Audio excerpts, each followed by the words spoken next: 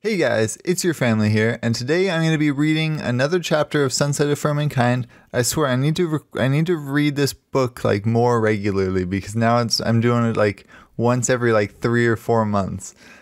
And it's not it's not good. I need to be able to make this I want to make this like every week or so, like once a week uh, every week or something something like that. Uh, but we're today we're going to be reading chapter 11, Decisions Decisions. So let's get started. The small alarm clock on the nightstand beside Kristen's bed woke her up with a start. She reached out into the darkness and fumbled around for several ringing moments before her fingers closed around the clock and she managed to silence it. Too early, the botanist thought to herself lethargically. It took her a moment to realize where she was, and when the information floated up to her consciousness, she groaned aloud. Due to the conversation of the night before, Kristen had not slept well, but she wanted to get up and use the co ed showers before either of the men awoke. Before Barrett's shocking revelation, the shared restroom was the only thing about coming to the Institute that had bothered her. However, if she got showered and dressed before either of the guys awake, she felt that she could get used to an earlier wake up. She turned on a lamp, slipped out of her nightgown, and put on a thin, pale yellow cotton robe. Tying the belt as she slid her feet into a pair of matching slippers, Kristen looked into a large mirror and almost chuckled at the reflection of her hair fluffed all around her head like the mane of a male lion. She opened the top drawer of her dresser and pulled out her shower kit. From the small bag, she plucked out a brush and began grooming her fur. Grooming my fur? She blinked in amusement. Did I really just think that?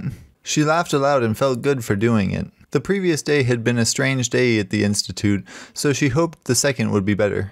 Mercy had told them that today they would have their physical examinations, so perhaps that would give them something else to occupy their minds.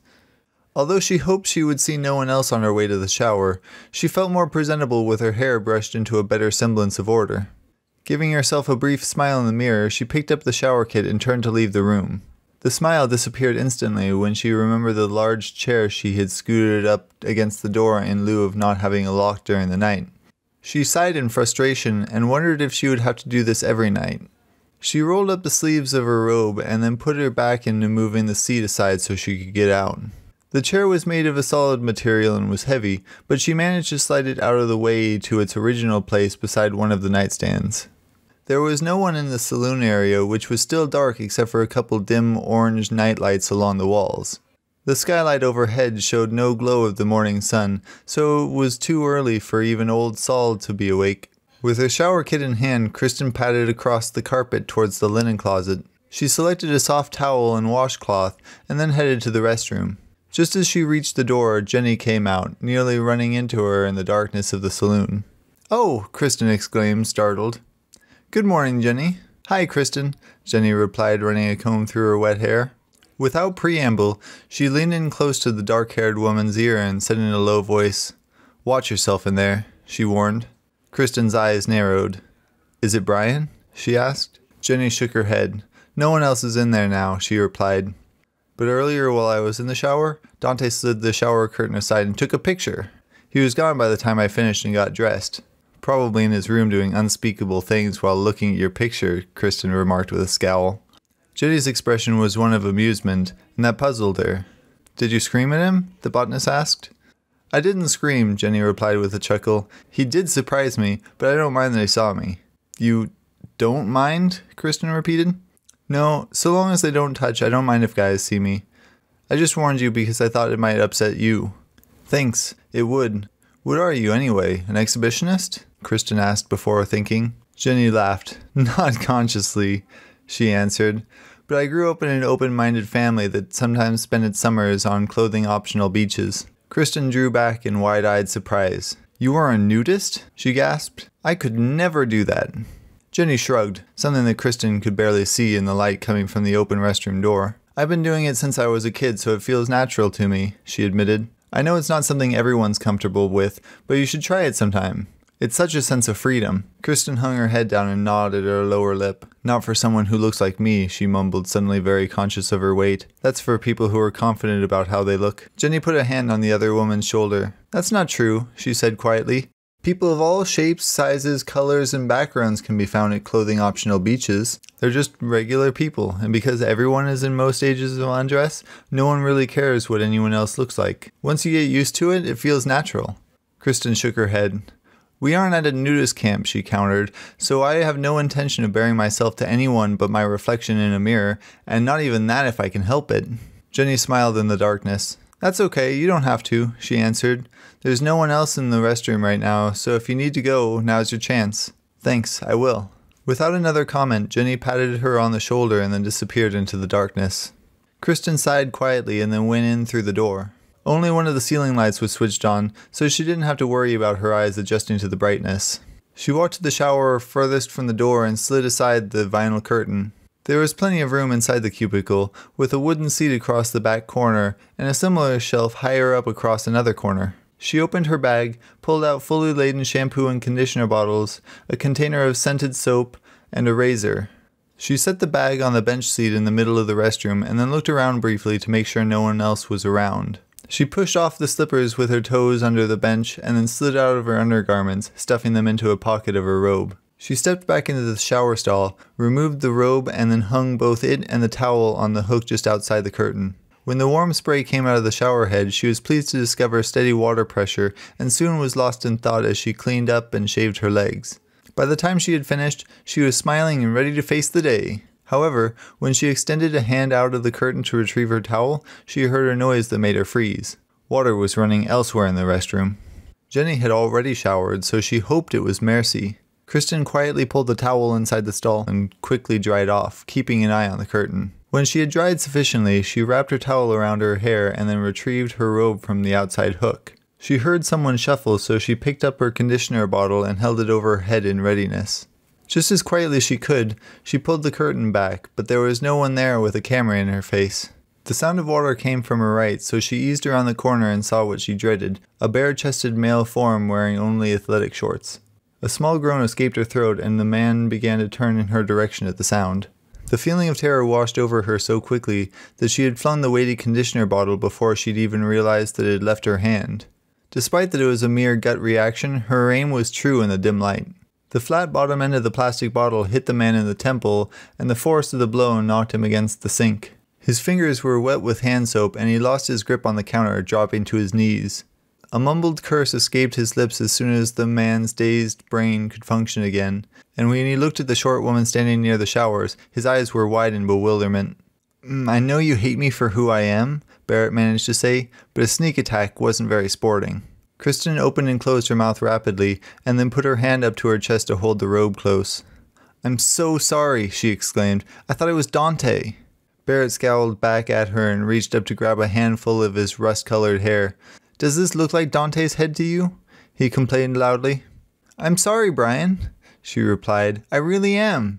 She wanted to run over and make sure he was okay, but her state of undress kept her rooted to the spot. Barrett grumbled something beneath his breath and then struggled to get back up to his feet.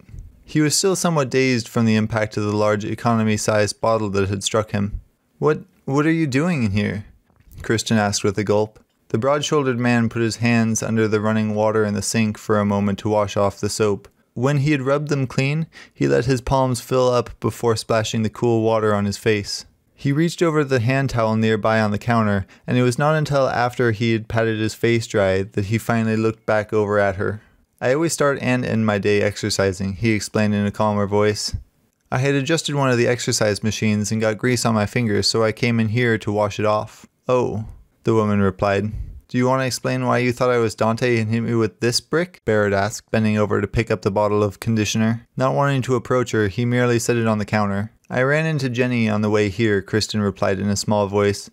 She said that Dante had taken a picture of her while she was in the shower and wanted to warn me in case he did the same to me.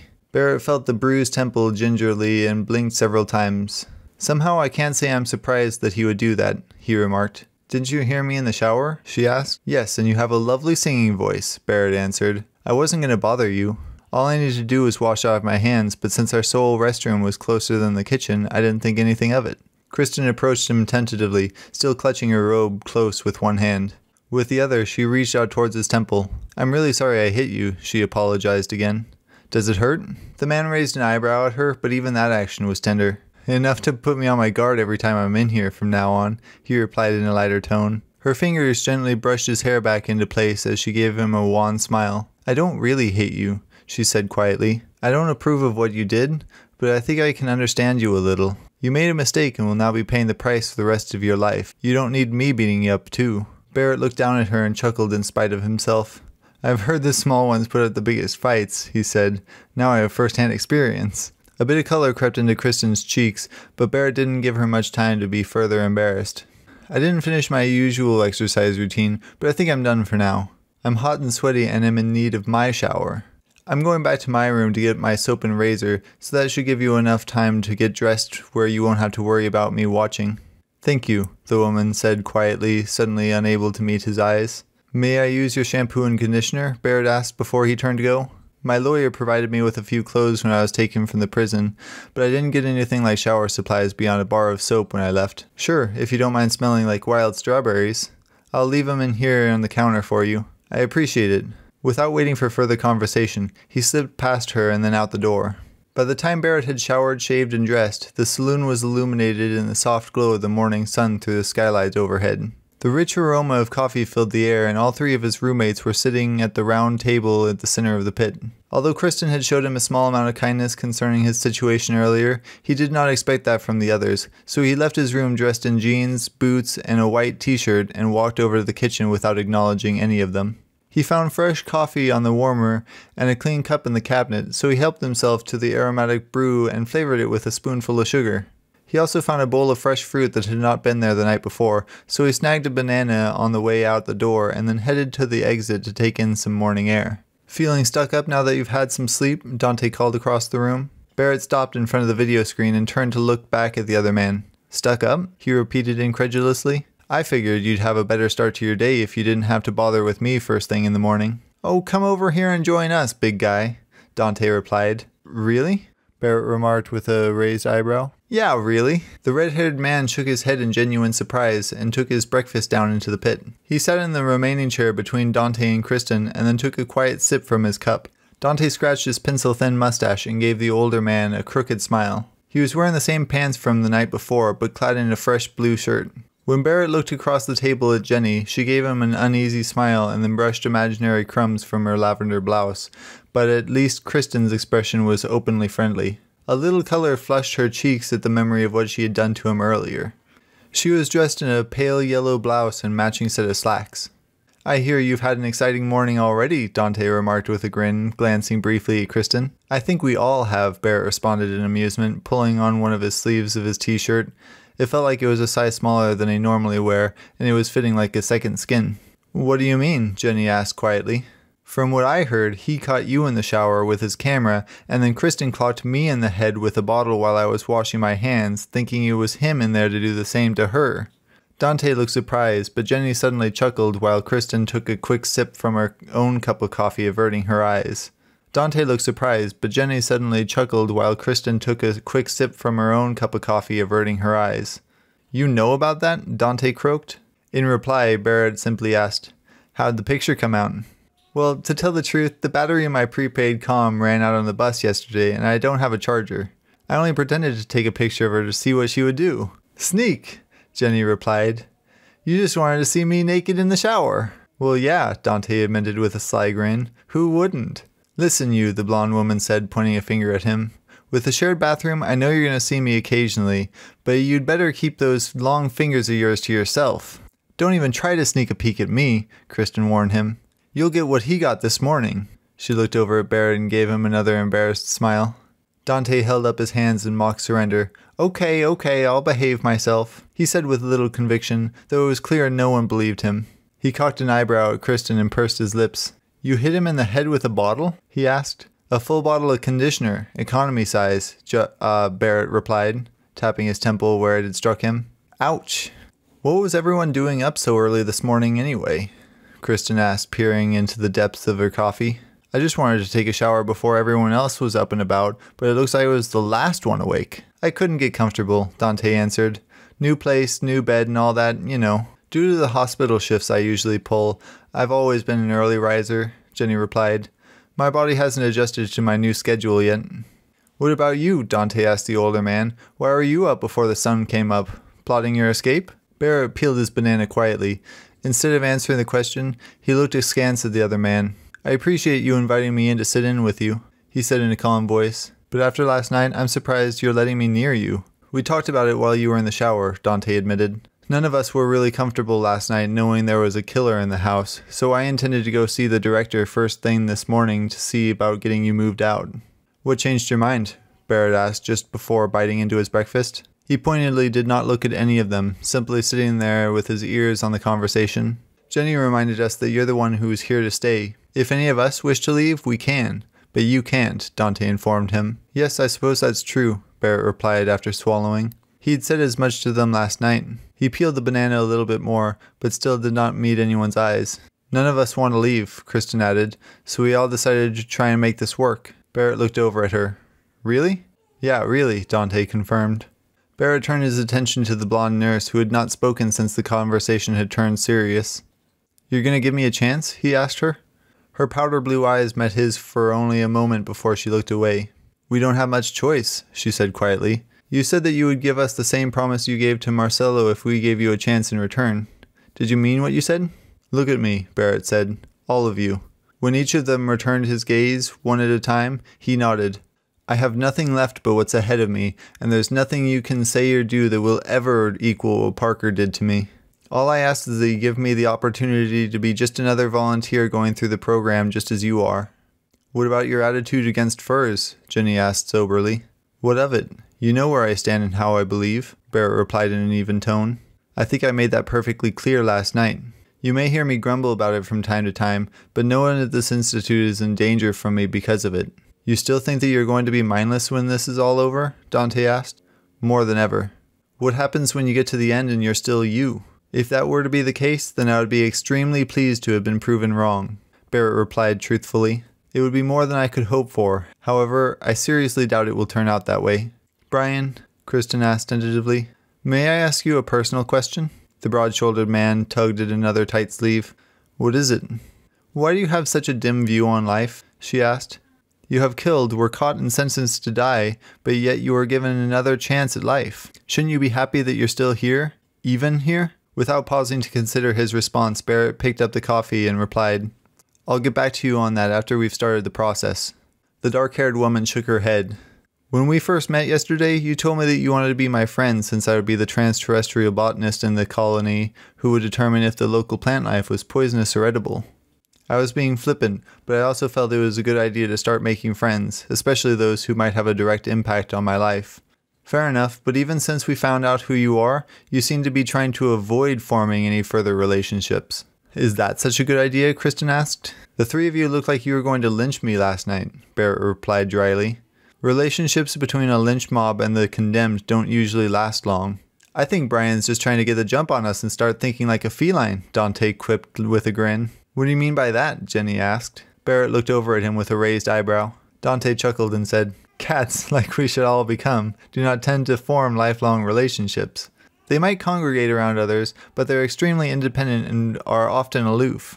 I've already adopted some feline attributes myself. Thankfully, moving the conversation away from Barrett's situation, Jenni gave Dante a mischievous look. And what attributes have you adopted? she asked. Dante smiled widely. Cats aren't necessarily governed by the same mating rituals that humans follow, he said with a mock whisper. The males can and will mate indiscriminately with any willing female. He punctuated his remark by waggling his eyebrows at both Jenni and Kristen, adding a leering grin for emphasis. Jenni merely looked back at him, certain that he was nothing more than a lot of hot wind. But Kristen shuddered and shrunk into her seat, crossing her arms across her chest. She had read stories about men with attitudes such as what Dante professed, and was concerned he might try and force himself upon her some night. Of course, she had no real evidence that she could voice on this, but he made her feel dirty any time he leered at her. She had not felt comfortable around him since their first meeting the night before.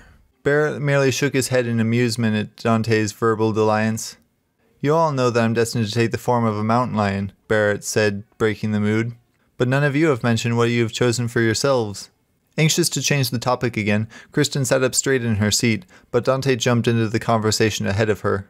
I want to be one of the great cats, the dark haired man responded quickly. Possibly a tiger or a lion, but I haven't made up my mind. Barrett looked over at him. I thought you had to make the choice before you even signed up he remarked. Jenni shook her head. You only need to let them know which of the four races you want to be, she explained. Felis, Canis, Ursus, or Vulpes. On the table was the folder that Mercy had left for them. Jenni tapped its corner. Since we're all in the Felis wing, we all have obviously chosen feline, but we still have to choose between the cats that are available to us. What if you wanted to bring your own animal DNA? Dante asked. Like that of your favorite house cat? Not allowed, Jenni replied. That was covered in the material you were given to read. It's because the materials they use here have been thoroughly checked out against disease or abnormalities. So what do you think you will choose? he asked her in interest. The blonde nurse opened the folder and flipped through the pages idly. Spotted leopard, she announced after a moment, stopping at a related photograph. I've always thought they were beautiful creatures. I also considered the snow leopard, but I think the standard leopard will camouflage better in wild terrains. Barrett asked Kristen, looking over her in simple curiosity. Well, she replied hesitantly, since I'm not very tall, I thought I would go with a smaller feline, something like a lynx, bobcat, or ocelot, if they're available. I haven't decided yet. There was a lynx in the cafeteria, Dante reminded her. Oh, I hadn't noticed, Kristen replied. That's because you were too busy ogling the males, Barrett teased. I was not, she replied defensively, but her reply was diluted when she exchanged guilty looks with Jenni. Dante pulled the folder towards him and began flipping through the samples. Each page contained an image of each of the felines available, with another photo alongside of past volunteers who had made the transition to show a sample of what the result might look like. All three of his housemates looked on curiously as he turned the pages, but finally he stopped at one and stared at it for a long moment. Bengal tiger, a white one, Dante announced with a finger on the photograph before him. That's it. That's what I want to be when I grow up. Well, Jenni said with a mischievous glint in her eyes. If you don't make it in the colony, you can always join an act in Las Vegas. The dark haired man grinned and then raised both of his hands in the air, fingers curled like claws. Roar, I say, roar! Kristen pulled the folder over to her side of the round table and took a quiet sip of her coffee while browsing the pages. I'm still undecided, she murmured. Just a reminder of what the doc said last night, Barrett said aloud. The process is irreversible. Once it's started, none of you will ever be human again, so you'll have to be sure before you take that injection of modified DNA. That's true, Kristen remarked, still looking through the photographs, but I still have a couple days before I have to make up my mind. After several minutes, she pushed away the folder and then peered into her coffee cup. I need a refill, she said, standing up. Anyone else? I've had enough, Dante replied. I get too jittery if I have too much caffeine at one sitting. No thanks, I'm still nursing this one, Jenni said. She stretched languidly, fully aware Dante's eyes were on her form as she did so. Barrett stood up and looked over at Kristen. I could use a refill, but I need to doctor it up. He gestured towards the kitchen and then followed the shorter woman out of the pit. As they walked, Kristen looked aside at him. Brian? she started. When he returned her gaze, she closed her mouth and looked down at her feet. Yes? It was not until they had crossed the room and entered the kitchen before she looked up at him. Bear gave her the time she needed, so he took the cup from her hand and placed it beside his on the counter. He picked up the coffee pot, refilled both cups, and then returned the near empty glass container to its warmer. Did you want to ask me something? he queried, searching for a spoon on the counter beside the sugar bowl. He dipped a spoonful of sugar into the cup and then began stirring it lightly. You said that you'd be getting a new identity soon, she said quietly, taking her cup to the refrigerator to add a splash of milk. That's right. For volunteers, it's an option, but for criminal sentencing, it's mandatory. Barrett replied with a nod. I believe the anonymity is to protect me from further retaliation from the victim's family and friends. Of course, that's the standard rule for someone sentenced to become a fur. Neither Rebecca nor hers or Parker's families know I'm still alive, so if by some chance I ever do meet up with any of them again in my altered form, the new identity will protect me. Do you know what your new name will be? Kristen asked, leaning back up against the counter opposite of him. Not yet, Barrett replied. I assume I was supposed to get the new identity given to me before I got here, but I made the decision to accept this fate only the day before my execution, and I was whisked away too quickly to get the information set up first. Will you keep your first name or will they change it all? If they do it like the witness relocation program, I assume everything will change first name, last name, background information, education, and all that. I'll probably have to memorize my new personal history in case I get into a conversation with anyone and they ask me about my childhood or something similar. I'm surprised they allow you to tell us about it. Kristen mused. I thought the purpose of a new identity was to hide you from anyone who knew you before the old one. Barrett shrugged. I don't suppose it matters at this point, he responded. Whether my name is Brian or Mephibosheth, I'm never going to be allowed to rejoin human society, so whatever they call me will only have an impact on those I'll be living with from now on. Kristen studied the interior of her coffee cup so that she would not have to look at him. I hope you don't think me petty, she said quietly, but I hope they do change your first name. Barrett looked at her with a raised eyebrow that she did not see. Any specific reason? Yes, the botanist replied with a voice barely above a whisper. Brian was the name of my ex, and he was one of the reasons why I'm here. Ex husband? Ex boyfriend, Kristen clarified, still studying the swirls of milk in her untouched coffee. Barrett did not respond right away. Do you need to talk about it? he asked quietly. No, but thanks for asking, Kristen answered, looking at him with moist eyes. Like you, I have people to leave behind. My life as a fur is the best promise I have for a new beginning.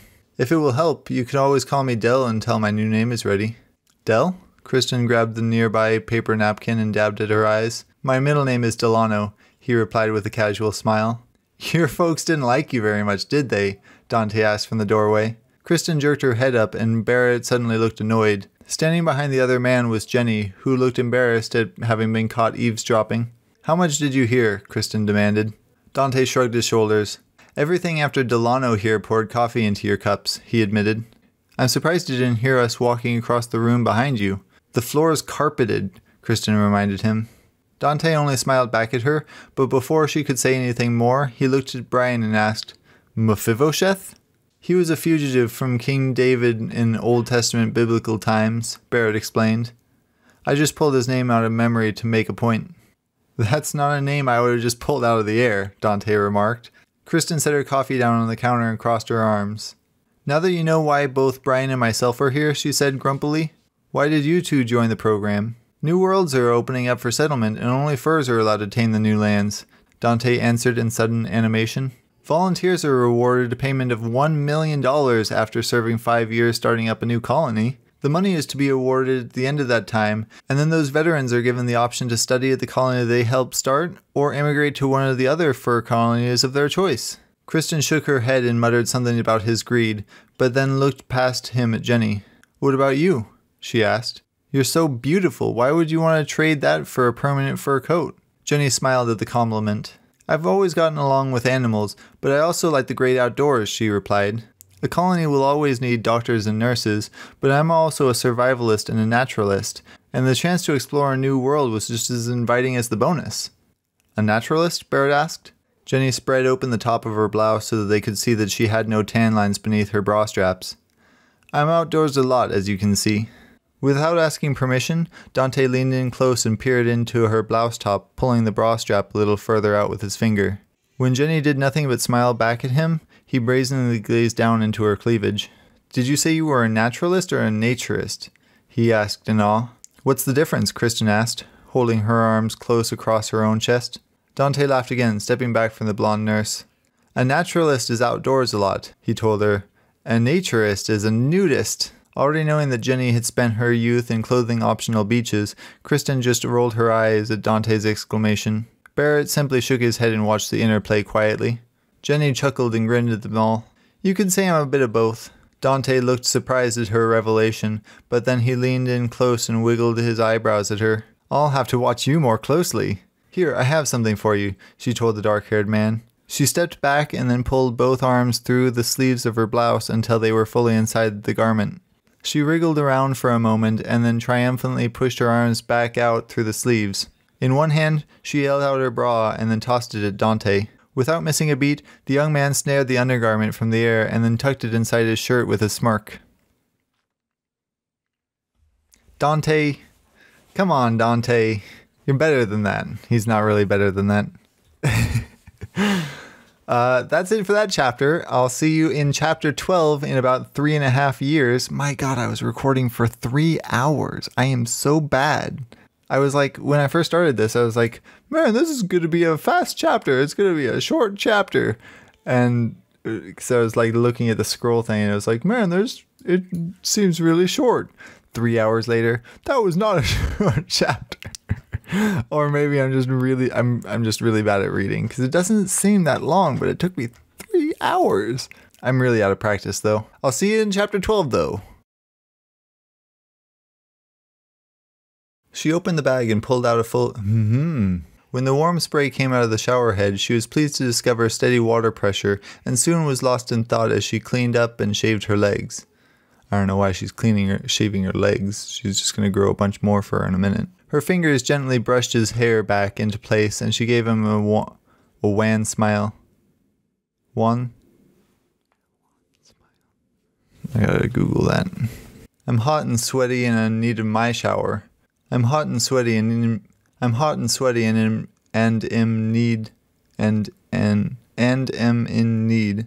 I'm hot and sweaty, and in and in and am in need, and am in need, and and and am in need, and am in need. I'm hot and sweaty, and am in need, and am in need, and am in need, and am in need, and am in need, and am in need, and am in need, and am in need, and am in need, and am in need, and am in need, and am in need, and am in need, and am in need, and am in need. God dang! I thought that this was a short chapter. and It's like I've been recording for an hour and a half. Halfway through. Not even halfway through. A little color flushed her cheeks at the memory of what she had done to him earlier. Ladies. Taken out of context. Don't put that on a compilation, okay? Bunch of weirdos. Oh, I can see the end. Oh, it's only been two hours and 45 minutes.